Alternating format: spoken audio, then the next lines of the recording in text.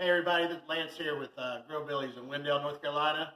Today I want to talk to you about the Meadow Creek BX50. As you can see, it just came in. I haven't even got it off the pallet yet.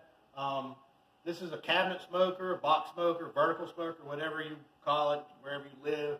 Uh, but this is the BX50. There is a smaller one, BX25, and one double this size, BX100.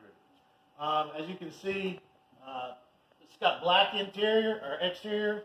Uh, you can actually get this in John Deere green, uh, New Holland blue, and a fire engine red. It does come with an extra price.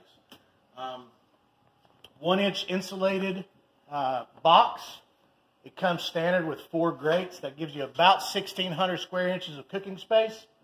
Uh, there's extra, uh, there's seven actual slots to where you can move your grates around depending on what you're cooking.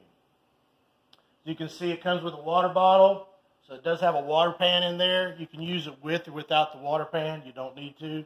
The water's gravity fed, so you don't have to mess with it. there is a grease strip pan here. As you can see, it also has the lock, so you can lock and secure it. Um, removable charcoal basket. Mash pan here. Uh, it does come with two uh, large urethane wheels and then two casters. At 775 pounds, you're going to really need those casters to move this around. it does come on this side. It has a Guru port where you can use the uh, use the manual intake here. But here's a Guru port.